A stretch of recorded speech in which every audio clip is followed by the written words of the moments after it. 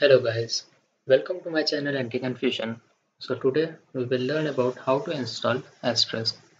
So let's begin. Before doing anything, first of all we have to install few dependencies which are required by Asterisk. So I'm copying these dependencies and going to install it. As you can see, I already have installed it. So it will not ins get installed again. Now we will move to asterisk.org.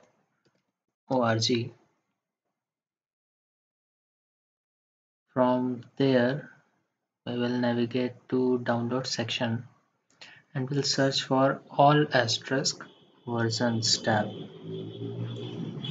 Here it is, all asterisk versions you can choose any asterisk version which you want to install. Here I will choose asterisk 13 certified version. Certified versions are much more better than other versions. So for that I'll copy link location. And uh, now do remember that we have to install asterisk inside user src folder. So first navigate to that now to wget and paste that copied link. It will take few times so i'm going to pause the video. To continue. Okay our asterisk is now downloaded. So let's unpack it by using tar tar zx vf and ast pressing then tab tab will give the suggestion and then we will press enter. This will unpack asterisk. And yes you can down get this document from my github profile. So continuing we will do we will firstly navigate to asterisk. Then dot slash configure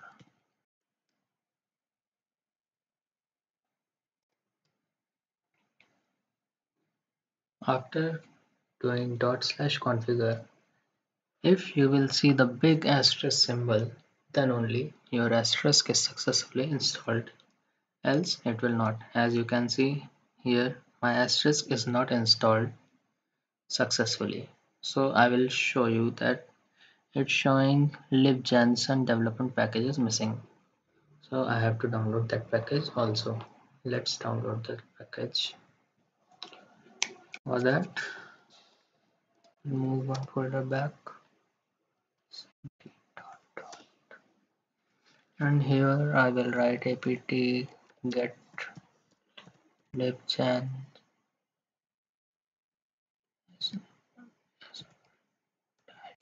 dv sorry apt get install yes.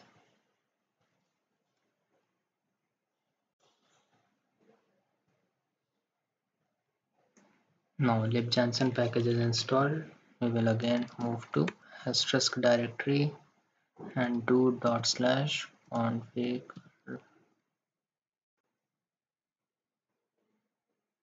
Let's see whether it will get installed successfully or not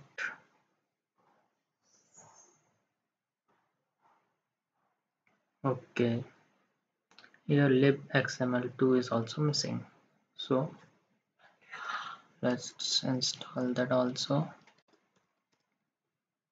Apt install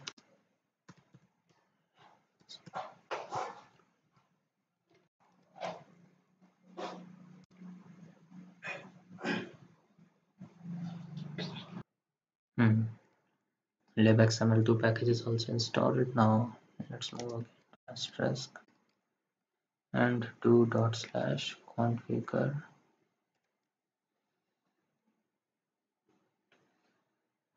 No need to panic for the missing packages because it will, it will automatically give you a suggestion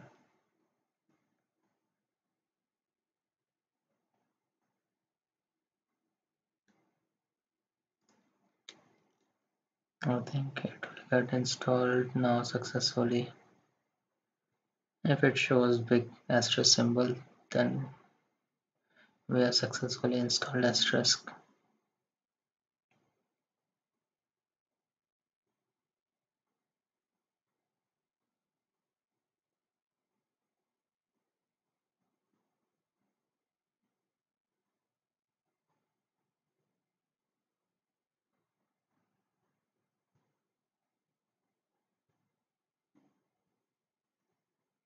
Okay, I will pause the video. Or I should not pause the video as you will think that here, here you can see that big asterisk symbol. So now we have successfully installed asterisk. But few more steps we have to perform like uh, make menu config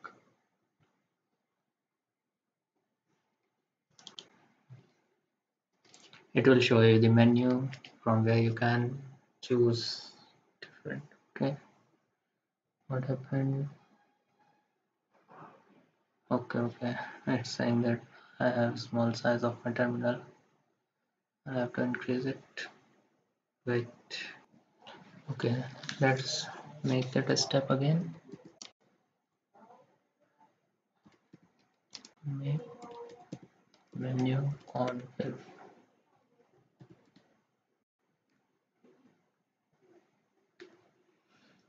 you can see many modules here. You can choose whatever you want to install but now we will just save and exit.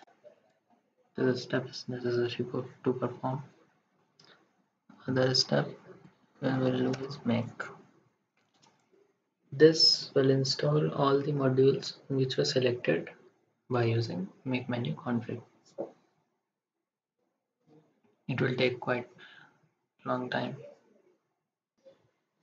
So it took around 5 minutes to install all this. Now the other step as it is suggesting you have to do make install. This install complete risk with its modules.